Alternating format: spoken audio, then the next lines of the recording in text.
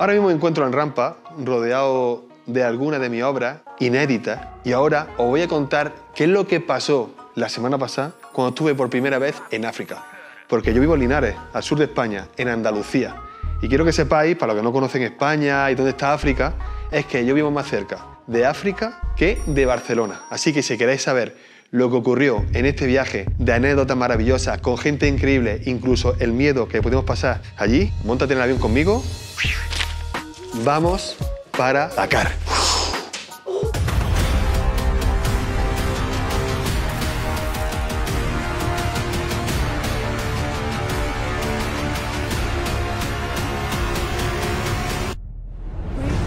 El Instituto Cervantes se pone en contacto conmigo, pero el Instituto Cervantes de Dakar, en Senegal, y quieren que yo vaya pues, a pintar una obra. Al principio me mandan algunas paredes que elija y cuál era la que más me interesaba para hacer una, un belling, pero a mí realmente lo que me gustaba era justo lo que era toda la estructura o toda la fachada del edificio, que este edificio tenía como diferentes niveles. Y allá fue al final donde elegimos pintar. Pero claro, no solo se queda mi proyecto o este proyecto tan bonito en el Instituto Cervantes en el exterior, sino que empiezo pintando dentro una pieza en el hall. Un one line en el que directamente yo esta obra no la hago en un papel y luego la paso a la pared, sino que viendo el espacio, incluso con la mano, viendo cómo puedo encajar la figura, me monté el andamio, me subí al andamio, empecé a bailar un poquito encima del andamio como si estuviera haciendo surf porque se movía mucho, pero sin peligro, y me marqué toda la pieza y me la pinté pues disfrutándola.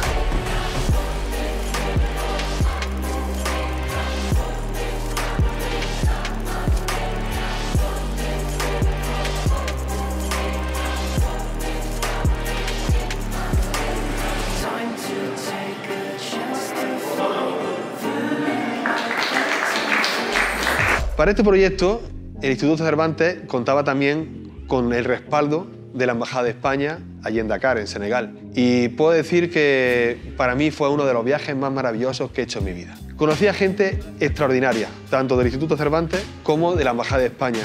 Y también, por supuesto, a otros artistas y otras personas que iban por la calle o que hacían su trabajo y obra, como por ejemplo, me sorprendió cómo un artista estaba trabajando con una obra hecha en arena me explicó que tenía como veintitantas arenas diferentes de colores naturales que se encuentran en diferentes partes de África. Había colores amarillentos, rojizos, verdosos, grisáceos y con todo eso y con una especie de, pintura adhesiva incolora iban luego adhiriendo la arena a base de lanzarla y hacer una especie de gradaciones que eran increíbles. Para mí fue una experiencia maravillosa en la que ese tipo de técnica yo la quiero implementar en mi obra.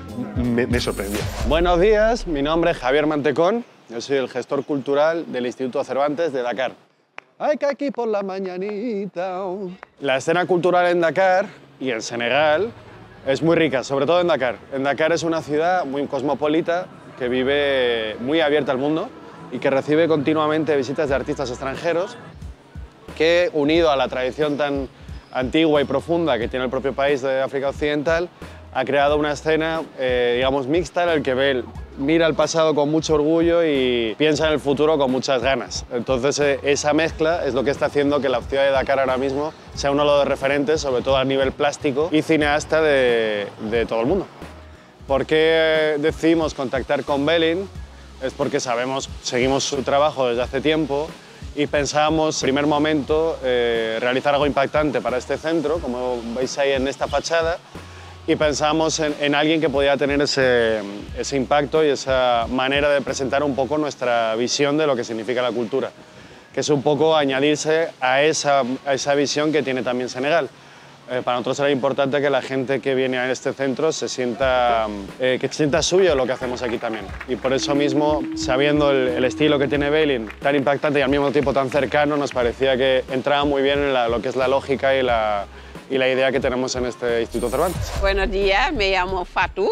Y la verdad que vivir aquí, bueno, volver a vivir aquí agrada. Y lo que más gusta es ese calor que, que, hay aquí en África, o sea, la gente, la costumbre, la amabilidad que encontramos, que consideran todo el mundo como si fuese su hermano o su hermana. La costumbre que tiene de acoger a la gente, sobre todo a los extranjeros que llegan, esa bienvenida calorosa que le dan como si fuese parte de, aquí también es lo que más extrañaba aquí, aunque las culturas en ambas partes es muy distinta.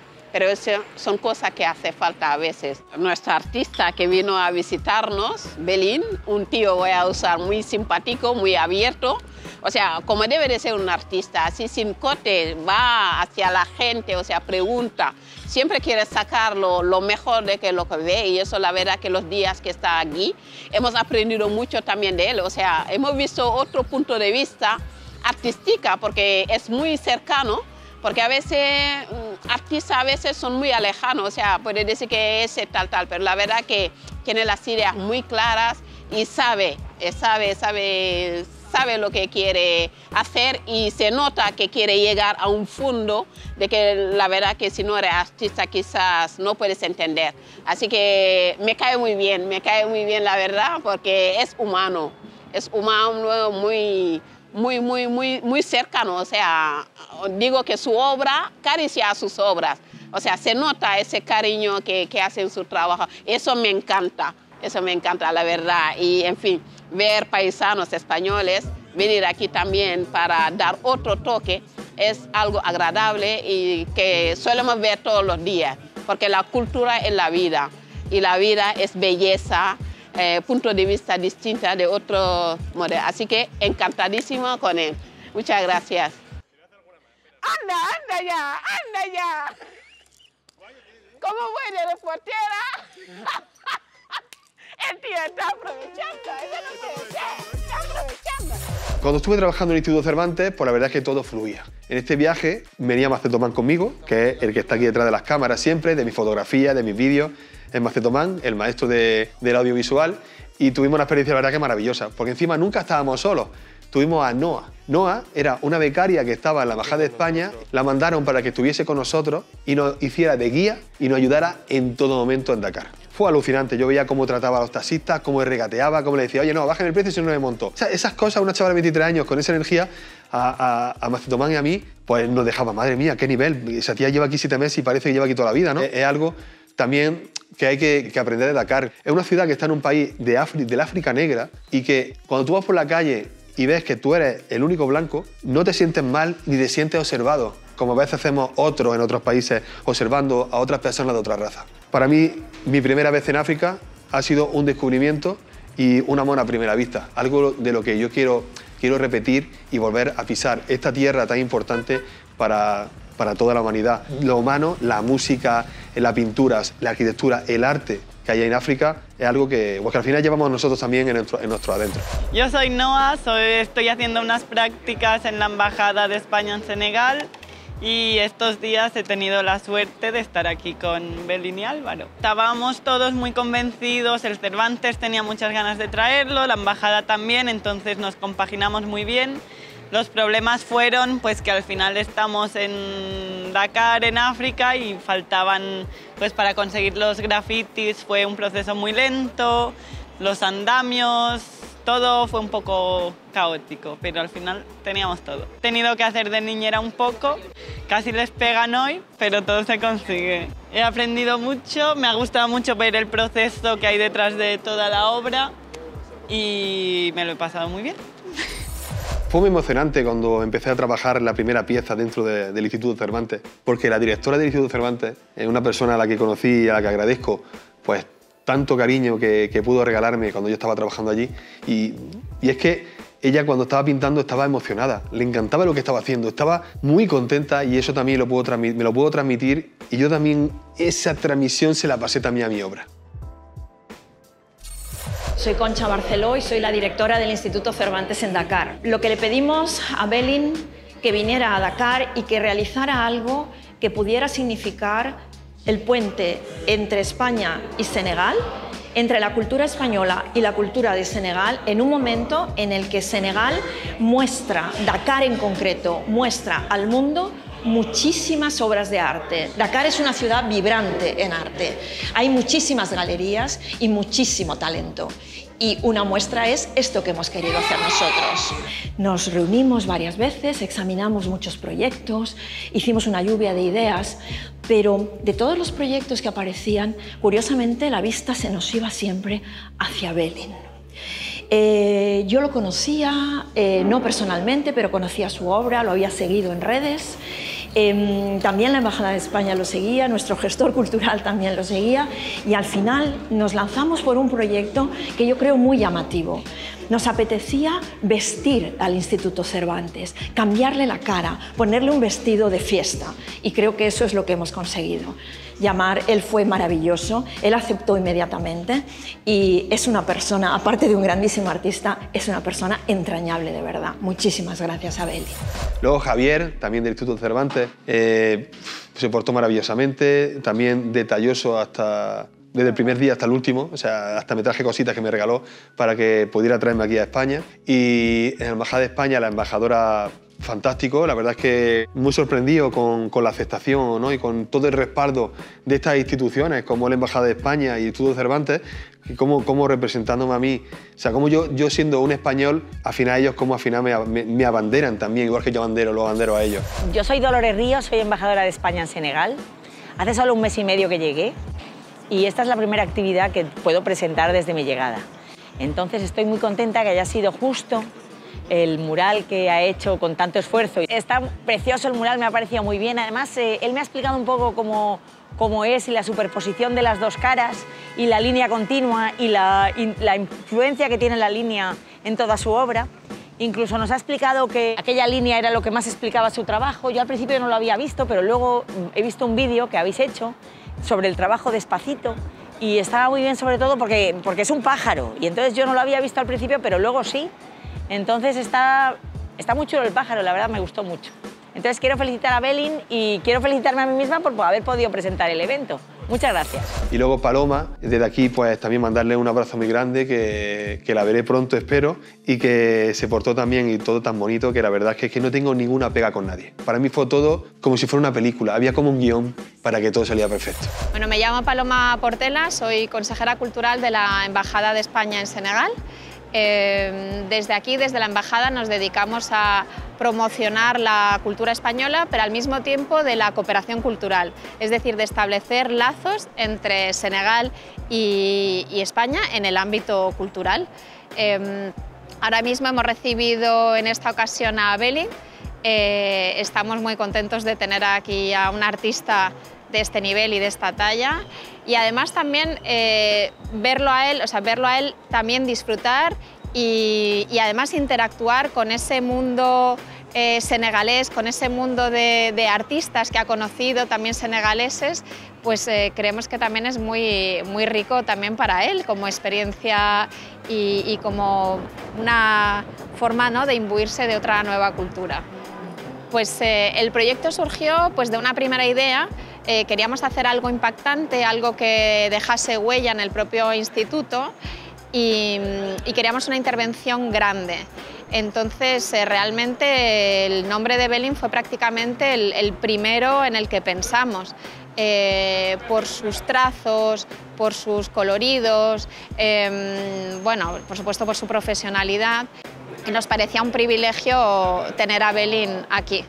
Eh, esperemos que el privilegio haya sido también compartido y él se vaya también contento y tenga ganas de volver eh, con nosotros.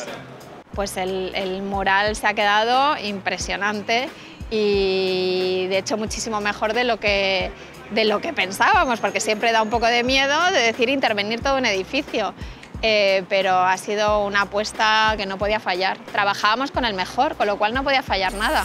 Pero claro, también pasan otras cosas, ¿no? O sea, vamos por la calle, eh, me llama mucho la atención el ritmo de la gente, eh, cómo, cómo se conduce allí, algunas partes pues más caóticas, pero al final no sientes en ningún momento por ningún rechazo ni ningún miedo, sino que te sientes pues cómodo, o sea, como que esa ciudad te acoge y te hace suyo, suya muy, muy, muy fácilmente. Estuve viendo galerías, viendo exposiciones, porque yo quería conocer más, yo quería probar todas las bebidas de zumo, eh, las comidas tradicionales, eh, probar sus productos, conocer a su gente, caminar por sus calles, por sus mercados, porque para mí era importante pues empaparme del lugar donde yo estaba pintando.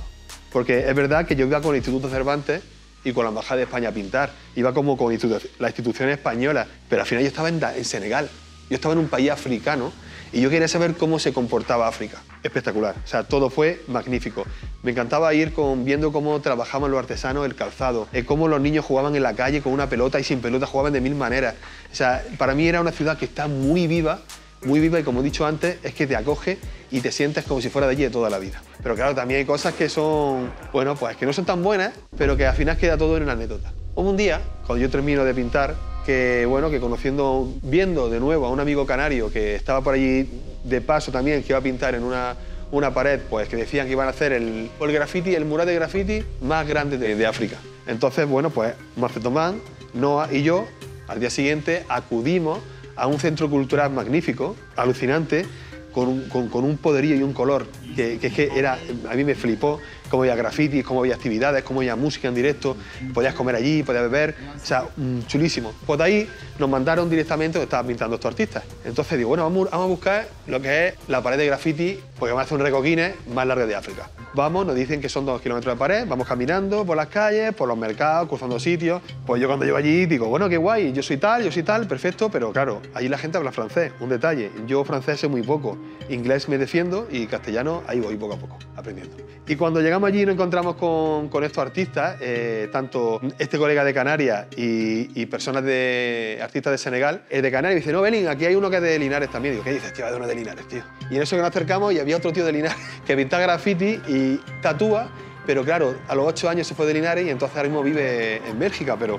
como digo, no me puede ser que haya otro tío de Linares aquí, o sea, estamos tres tíos de Linares, o sea, somos mayoría casi. Y en eso que yo, pues bueno, cuando vi que la gente estaba pintando de fondo la pared de blanco con rodillos, pequeñitos, y yo vi un rodillo en el suelo más grande y un alargador, y yo me uní a ayudarlos para formar parte de ese mural y luego poder al día siguiente pintarme alguna pieza pequeña para, pues, por contribuir en ese proyecto tan chulo del Reco Guinness en África. Estaba fondeando, estaba pintando, ¿no? está Macetomán ahí tomando sus fotografías, que le flipa, ya puede aprovechar y, sacar su arte para él solo, no solamente de grabarme a mí, sino documentar y fotografiar por lo que está ocurriendo en esa ciudad. Y en eso, tío, que, en eso que, que empiezan a pasar un montón de motos, cientos de motos, y en eso que Álvaro me dice, oye, tío, ahí pasa algo raro, he visto como uno está empujando al otro con la moto en el pie, que otro está arrastrado por otra moto, por los suelos. Y sé, será algo habitual de aquí, no lo sabemos. Pasan autobuses con un montón de gente encima del autobús y haciendo ruido. Y bueno, pues será algo normal, no sé, yo no soy de aquí, pero es habitual. Pero en eso, que como estado, sigo pintando con el rodillo, me acuden a mí los organizadores de, del mural y me dicen, Belín, corre, ven para acá. Digo, ¿qué? dice, deja eso ahí, vente para acá. Vente, vente. Yo digo, a lo mejor nos van a dar comida y, y, debajo del puente hay un puentecito y a lo mejor nos ponemos todo ahí abajo para que no dé sombra, no dé todo el sol este. Pues cuando me estoy acercando veo que muchachos y muchachas de de la organización empiezan a tener en sus manos unas piedras así de grandes. Yo digo, ¿pero por qué es que con piedras? Entonces yo hablo con, con, con Macetomán y digo, oye, ¿qué está pasando aquí? Hablamos con los chavales estos de, de Canarias, de Linares, y digo, oye, ¿qué está pasando aquí? Y ya nos cuentan de que es que había una lucha senegalesa y que muchas personas, muchos aficionados que son como ultra hinchas de este tipo de deporte, iban, acudían a, ese, a esas luchas senegalesas, pero cuando van por la calle van pegando paliza a todo el mundo que se encuentra. Digo, madre mía, no me digas. Claro, yo veo que Macedo Man coge otra escalera, otro coge otra escalera, otro con piedra, pues yo coge otra escalera. Digo, y yo, pero realmente nuestra cara nunca fue seria porque no lo podíamos creer. Los serios estaban, los de Senegal estaban súper serios, porque estaban así como, digo, madre mía. Pero bueno, al final no pasó nada, nos cruzamos como una especie de autovía, cargamos la pintura en unos taxis, nos llevaron al centro cultural y todo perfecto. Fue alucinante. Al día siguiente yo volví y me pinté unas piezas dentro de, este centro cultural, me pinté, una pared, me pinté una pared que me gustó mucho y luego me pinté también algo rapidito en, otra, en una puerta de chapa que estaba ahí, que bueno, era para dejar un poquito más de huella, porque yo no podía pintar en este, en este mural del Reco porque ya no me daba tiempo. O sea, yo me tenía que coger el avión y para volverme a Linares, volverme a España. Y ahí queda la cosa. Al final fue todo un viaje maravilloso. Desde aquí, lo que yo quiero comentaros es que es muy importante que conocer otros países, conocer otras culturas, para así no poder pues, hablar mal de algo que no conocemos. Al fin y al cabo, pensad que muchas veces hablamos Decimos, no, es que ese país no vale para nada, es que ahí hay gentuza, es que hay gente buena, hay gente mala. Pero si no conoce el país, si no conoce sus calles, conoce a su gente, al final son prejuicios. Y los prejuicios todos los hemos tenido, los tenemos en, en momentos de la vida. Pero sí te puedo asegurar que si viajas y conoces a otras personas y te haces amigo en otros países, nunca te arrepentirás y el mestizaje cultural y humano es lo más bonito que tiene este planeta. Así que, si te ha gustado este vídeo, suscríbete, dale like, ponme un comentario, cuéntame cuál es tu país que no sea el tuyo, por supuesto, que hayas ido fuera, cuál es tu país o ciudad favorita del mundo y cuéntame por qué. Y nos vemos en el siguiente vídeo. Ya, mi hija, mira, medio mexicana, medio española. Ole, qué fuerte, gracias. Ale, ya está. No pasa nada si no llevo gorra, aunque soy rapero. Que empiece el ritmo, cabrón, porque el primero soy yo aquí. Soy sincero como el viento cuando sale por la mañana. No pasa nada si viene tu primo, viene tu hermana. Si viene una rana, un sapo, un saltamonte, soy belinchón, ya sabes, soy como los lingotes de oro, pero mejor dicho de plomo, porque soy de Linares, ya sabes, me pone un jamón y yo me lo como, tomo a tomo, el libro del arte, soy belinchón, ya sabes, ponme aquí un estandarte. ¿Qué opinas, no, de lo que acaba de pasar?